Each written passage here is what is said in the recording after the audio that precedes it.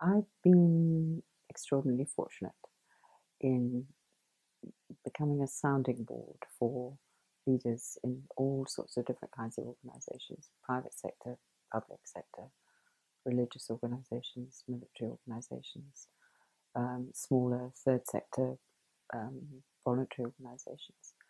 And I've learned a huge amount from the kind of from being with people like who have leadership responsibilities as they think about those responsibilities and as they reflect. And I was asked at one point to go and speak to people uh, in a particular organisation in South Africa about what I had learned from working with leaders. And so I spent quite a bit of time trying to distill what I'd learned and came to the view, and this is now two or three years ago, and I've consistently tested this um, these ideas since then, and they really do seem to make sense.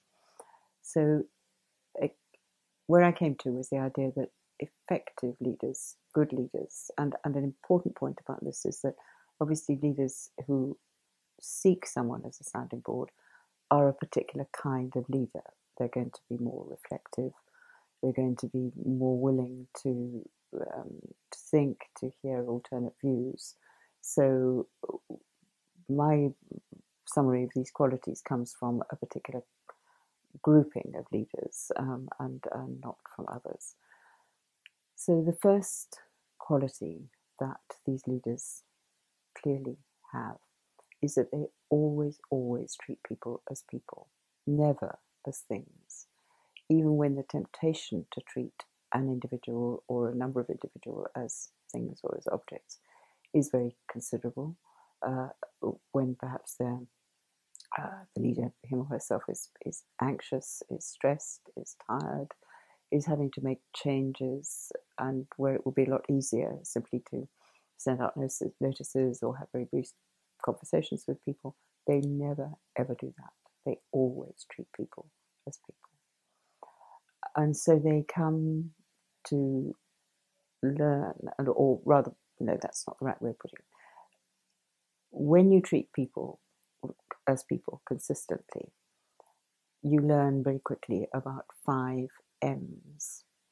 Um, the first M is that you learn that people, each person, is a maker of meaning, uh, hence the significance and importance of storytelling and understanding the purpose of the organization uh, and, and finding a way to be committed to that.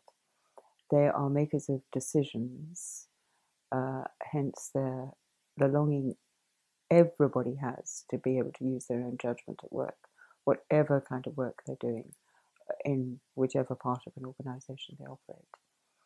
Uh, and then they are also, so people are makers, that's the first M. The second M is that people are members.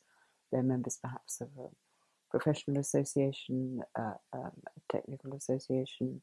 They're members of um, their community. They're members of families. Uh, and those are loyalties that mean a great deal to them. And then you learn that if you consistently treat a person as a person, you very quickly come to realize that they are an irreducible mystery. Uh, and that is the way that you're going to have to, to be with them and um, lead them, work with them. And as someone then put it to me once I've been describing this, if you, treating people as people is messy, but as the man beside him said, ah, yes, but it is magic.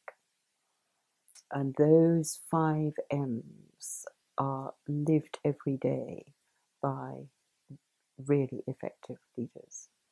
So that's the first, um, the first letter of um, this notion of pact.